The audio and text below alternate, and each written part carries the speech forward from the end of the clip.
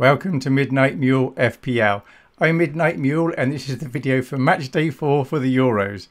As with the other videos for the Euros, there's no useful information in this. It's just my plans of what I'm going to do and why. But before that, let's see who's done well in the Midnight Mule Mini League. The top score for match day 3 was 64 points and there are two teams that got that. Anne Shuckler with Dog on Dog Fight and Gonçalo, Gonçalo probably with Low Costa. So look at dog on dog fight first. How did they get the 64 points? Well, Eriksen Robertson got seven, Guehi got eight, and then six points for Pickford and De Bruyne and Mbappe. Four points for Szoboszlai Bogmartin. I can't say his name. I've even read it lots of times. Baumgartner. There we go. I'm no good with these uh, players that I'm not used to. I'm not good with players I'm used to either, by the way. Akanji four, and then Lukaku four, but that's because he was captain. You really got two. So Lukaku was actually the lowest scoring player on the pitch. And then on the bench, Castile seven, but we had Pickford for six. That was okay, and Hernandez for three. So perfectly fine. And if you look at their chip situation, they played the Limitless in three, and they played the wildcard in match day two. So they have no chips left. So that means the remaining four game days, match days as they're called, when it's a knockout, they need to get very lucky or else take hits with what they choose. As for Low Costa, that 64 points was managed with Captain Grimaldo with 16 points. That was very nice. Castagne, 8 points. 7 points for Eriksen. And then 6 points for Gakpo, Mbappe, and Pickford. And then 4 points for Szoboszlai, Rudiger. And that's it. And then on the bench, nothing. And their chip strategy.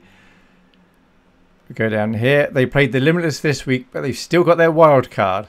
So I would guess they're probably going to use that in the quarterfinals or semi-finals, depending on results. And top of our league with 216 points is Mardvik with Mardvik GM. That was with Captain De Bruyne for 12. Grimaldo and Guehi got 8. Eriksen got 7 as did Castiles, and then Szoboszlai got four. And on the bench, nothing. And regarding their chip strategy, they had the wild card active. They played the Limitless in game week two. So again, they're going to be hoping for some good fortune in the remaining four game weeks, or three game weeks, I guess, because the final was too late to do anything then. As for me, we need to scroll down a long way to find me. I'm all the way down here in joint 23rd and I got 29 points. I had one player that got a return, and that was Pickford with six points. So that was nice. But it's okay that I got 29 points because I had a nice time changing my captain every day and moving the subs around. So that's okay. As for my chip strategy, I've been saving my chips, but that's not really an excuse for just getting 29 points. My plan for the chip strategy was to use the limitless in game day five, which is the quarterfinals, and then wildcard in game day six, and then hope I'm all right for the final. But since then, I thought it'd actually be quite nice if I could use my limitless in the semi final and wildcard in the final. But to do that, I need to carry forward enough players from the last round of 16 that we're about to have into the uh, quarterfinals. So what I'm about to show you is my current plan. I can't guarantee I do this, but this is my thoughts on how I'm going to have the best chance of getting into the quarterfinals without having to take hits or play a chip. Now I do normally have my face either down here or up here somewhere, but I used up all the screen real estate, so I need to disappear for a while. Sorry about that, but I'm still here in spirit. So these are the 16 teams that are left. And what I did, I went to Bet365 and looked at the percentage chances effectively of each team qualifying because I don't care who wins. All that matters is if they qualify.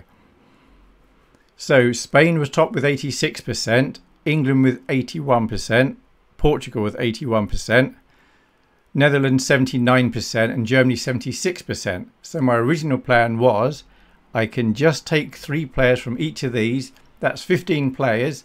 That's my best chance of having at least 12 players go through to the next round.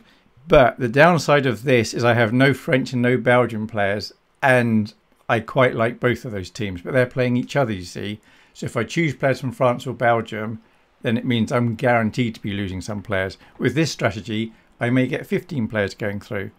Now, if I keep going and look at the odds for the rest, next is France with 66, Austria with 66, Italy with 55, Switzerland with 45, and then Belgium 34, Turkey 34, Denmark 20, Romania 21, Slovakia and Slovenia on 19, and Georgia with 14.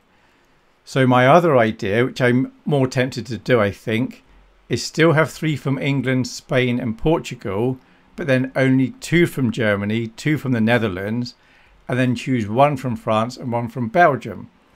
And what this means is I'm guaranteed to obviously lose one of the French and Belgiums. And if, as long as England, Spain, and Portugal go through, then I can afford for Germany or the Netherlands to get knocked out and I will still be all right.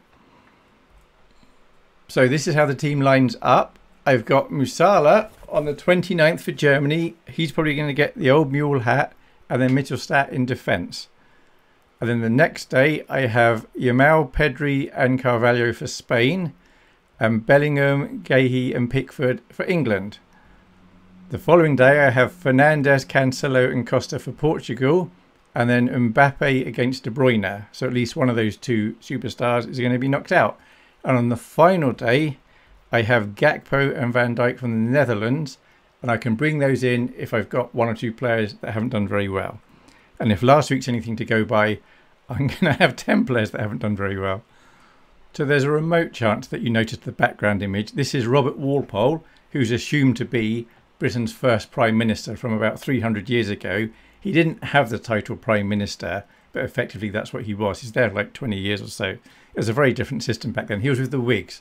There isn't a party called the Whigs anymore.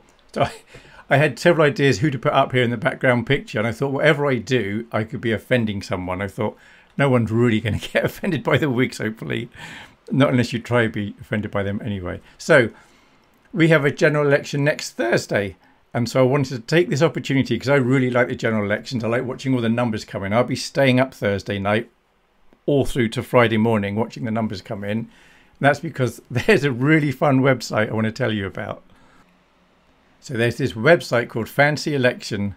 The URL is fantasyelection.co.uk. I'm not affiliated with it. I get no kickbacks for mentioning it but I thought it was a fun idea. So here's the website. You can go on it. You can read about how to use it. I've got a league I've made up. There's currently three of us in it. If you decide to make a team, please join the league. It looks like a lot of fun. Even if you know nothing about politics and you know nothing about the UK, you can still put together a random team and then just see how you do. And the way you score is for each vote that your 11 candidates get, you get a point.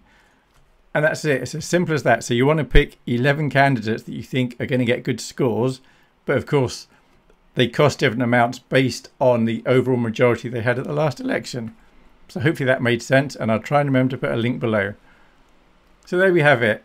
General election coming up. But before that, we have match day four, the last 16. And obviously, I'm not going to try and sway the way you vote. You vote for whoever you want to vote. Just do your own research and have fun voting if you want to vote. If you don't want to vote, that's fine as well. If you want to spoil the ballot paper, that's fine as well. All right, thanks for watching. Bye.